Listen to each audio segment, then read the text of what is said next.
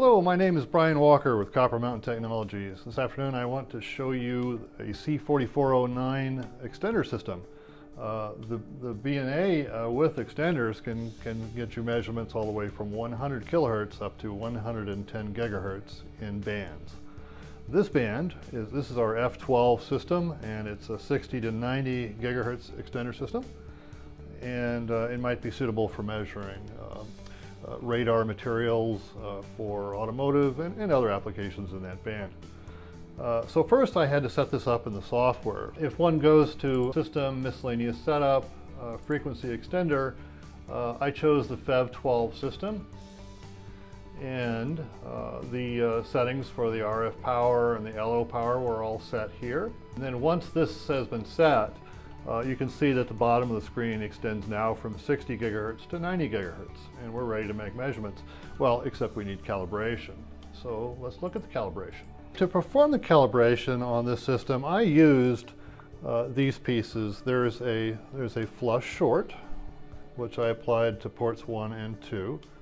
There is an offset shim which goes between the short and the and the waveguide on ports one and two. This gives you the, the open. And there's a broadband load, 50 ohm load that was applied to both ports one and two. Now for the through, I simply connected uh, the two waveguides together and bolted them tightly. So uh, I performed an SOLT full two-port calibration on this system. I'm not going to show that now because uh, attaching all these pieces is not very interesting and it's fairly time consuming. So that calibration has already been done. And then I attached uh, my test filter. Uh, it's a, a, WR12 waveguide filter. I, I, I, attached it between ports one and two of my extender. And uh, now I'm able to measure that on my screen. So let's go back to the screen. You can see I have a good S21 measurement and I have my return loss below it. Uh, I can go to markers, uh, properties, math actually. I can do a bandwidth search. I'm going to look for the 3 dB points and I'm actually going to do that on the S21 trace.